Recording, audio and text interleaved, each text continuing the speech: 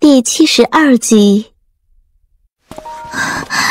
小姐的病与琅琊王，也就是小姐的兄长有关。倩痕下了决心，道出缘由。小姐多年前因苏公子而伤情，发誓绝不另嫁，决意入山奉道以度余生。最终碍于亲辞未能成行，避居明媚阁。数月前。伯侯送小姐从裴州回返，顺道与琅琊王一晤，突然提出求亲，不知怎的就定下了亲事。六月即是迎娶之期。说到伤心处，他忍不住啜泣起来。从那时起，小姐就不想活了。天寒地冻的，小姐大半夜紧着单衣在庭中伫立。第二日就受了风寒，药也不肯喝，身子一日比一日弱。小姐的兄长请出沈娘伯姨，连番过来劝，甚至有狠心的说，哪怕病着也不能误了佳期。左公子说，小姐是心病，却是再真切也没有，不是怕我们这些侍奉的下人受责。小姐连汤药都不想沾，勉强喝了也是吐出来。病势一日沉思一日，再这样下去，别说六月，只怕冬日都熬不过。千和满心气恨，不敢出口的怨声尽道了出来。这哪里是结亲，分明是催命！万幸苏姑娘来了，你是苏公子的徒弟，但凡开口一劝，小姐必定是听得进去的。苏云洛听得脸色煞白，连杀气都透了出来。左青瓷寻道：“伯侯对郡主倾慕已久，一向爱重，怎会如此鲁莽？他可知郡主如今的境况？”千和抹去颊上的泪。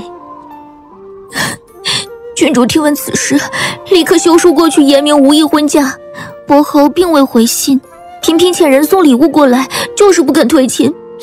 琅琊王与小姐是亲兄妹，感情极好。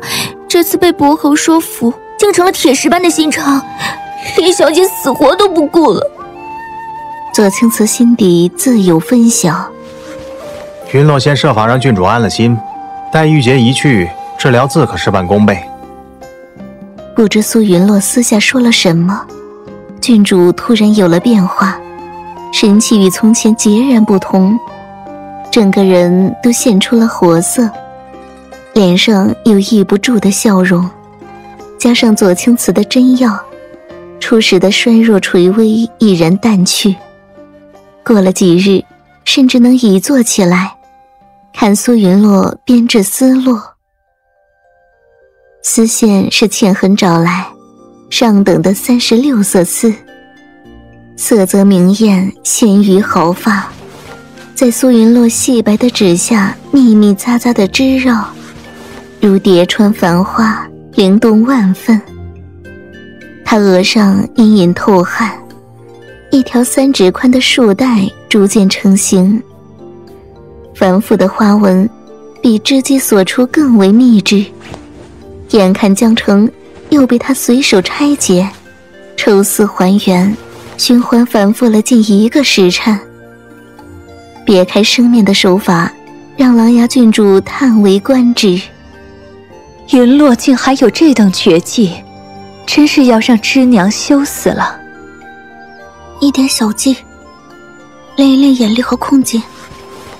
苏云洛放下丝线，替他换了一盏热茶，观察他的气色。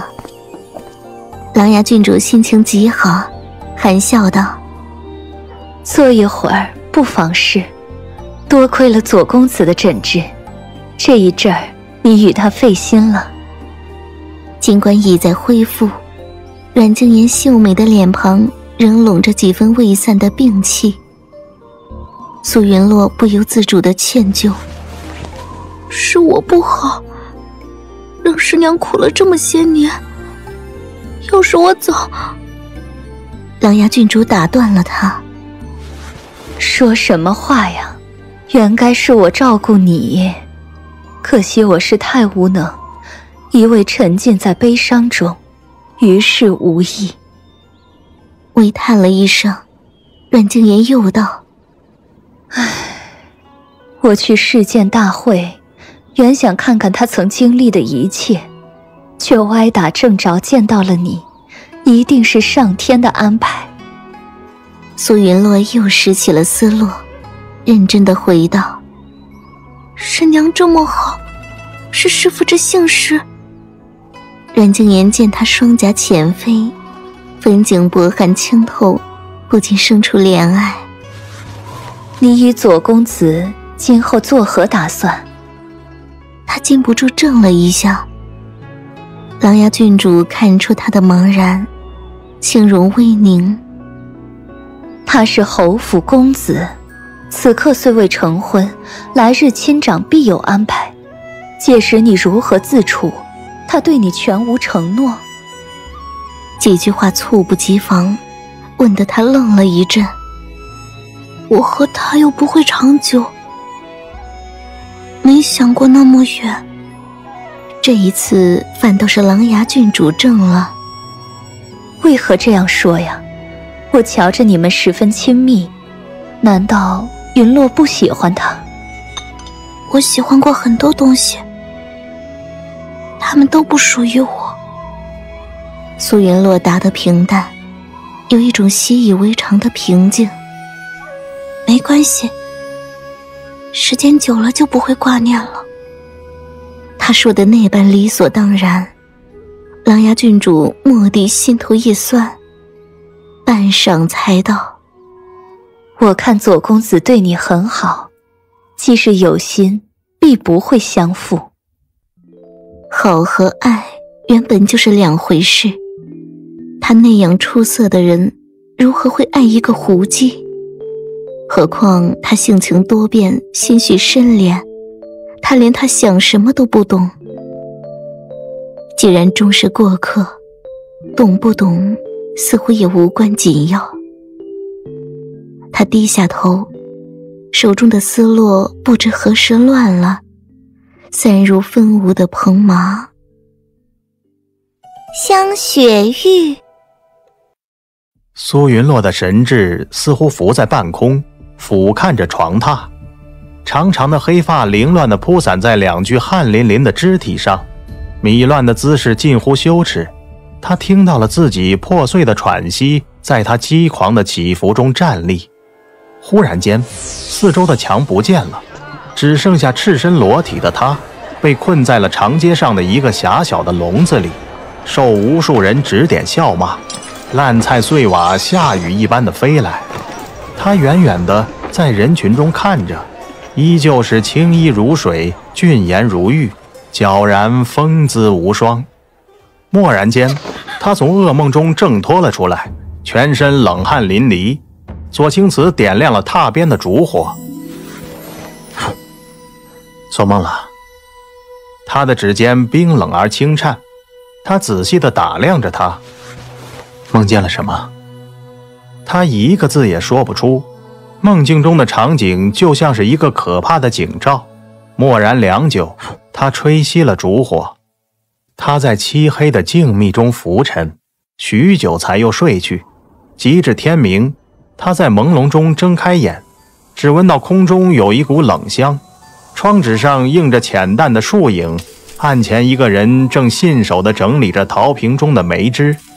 初醒的昏带和零星的回忆让他模糊了意识，一瞬间回到了志玲，仿佛在长久的等待后。突然，就在某一日清晨惊喜起来。师傅，俊言侧了一下，左青瓷没有表情的看过来，他立时心口一坦，知道自己大概又说错了。他走近了，在榻边坐下。苏璇通常怎样唤你？他半坐起来，扯过中衣披上，声音很低：“阿洛。”左青瓷停了一刻，又道：“那如果真是苏璇，刚才你会怎么做？”问话很平静，可是苏云洛清楚，下一瞬就会迎来刻薄的讽刺。他低着头不想说话，周围忽的一暗，一个温暖的胸膛拥住了他，还有一声柔和的呼唤：“阿洛。”他僵住了，理智告诉他不是同一个人，可怀抱却是一样的暖。宽阔的肩膀像一个世界，充满了理解与宽谅。他僵了又僵，突然间，某种情绪如洪水破闸而出，再也抑不住，张开双臂抱紧了他，就像一个孩子一样，把头埋进了世界唯一可以依赖的胸怀。他抱了很久。他居然没有不耐，也没有预料中的轻逢与尖刻。人的心境非常的奇妙，那种迷乱的、带着欲望与占有、让人躁动的感觉，悄然生出了变化，化为清浅的甜意，愈贴着心口，让万物异常的美好。仅仅是一句轻唤，一个拥抱，却比无数次缠绵更暖。他抑不住的更想接近他。想要触碰他的手指，亲近他的身侧，即使什么都不做，似乎也有了与过去不同的恋乐。例行诊完了脉，左青瓷续了几句，由倩痕送回了客院。苏云洛与往常一样，留下来陪伴狼牙郡主。狼牙郡主瞧着他的脸庞，忽然漾起了微笑。云洛整日陪我。可会无趣？不等回答，阮静言又道：“当年我总盼着你师父来，数日如年。等他真到了，又觉得晨光飞渡，弹指即逝。明明他是个傲笑天下的英雄，我却希望世界只剩这一间院子。”苏云洛听得神往。师娘和师傅感情真好，也有过争执。他人狭放达，喜欢交友斗游；我好诗词书画，喜欢静赏山水。就连饮茶也不同，他爱真腊西明，我喜蒙顶甘露。